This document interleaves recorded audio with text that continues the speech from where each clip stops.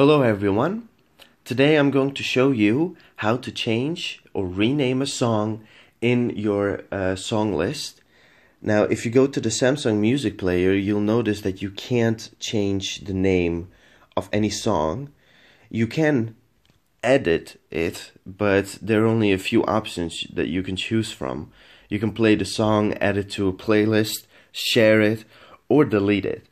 And as you can see, the song that I have highlighted is spelled wrong. Smith is spelled HT instead of TH. And it's kind of annoying. So we're going to change that. What you need to do is you're going to go to My Files, Internal Storage, and then find the folder where your songs are. If you have moved the song from your PC or laptop to your phone, then you can find it down below in the Samsung folder and then the music folder. This is where all your songs are stored then. But if you've used um, no other device besides your phone, and you've maybe you know uh, downloaded it from YouTube with the converter, then all your files will be in your download files.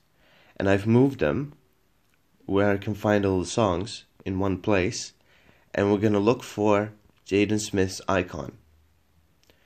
Press and hold it until you see this, and then click on the three dots in the top right corner of your screen screen and then click rename.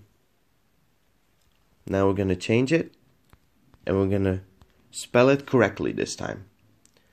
Click on rename when you're done and then go back to your songs and as you can see Smith is now spelled correctly. It changes it really quickly and you barely have to do a thing.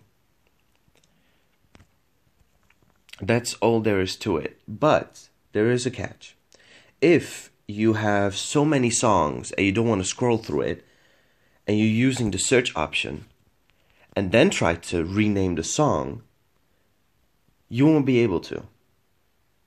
So that's one thing I do have to say. You have to search for it manually. You have to scroll through all your songs, but not to worry. All your songs are usually in alphabetical order, so you won't have to search for very long. So this um, this is pretty much all you need to do in order to change the name of the song of your choosing. I hope this guys uh, I hope this is uh, useful to you and um, yeah I'll see you guys soon.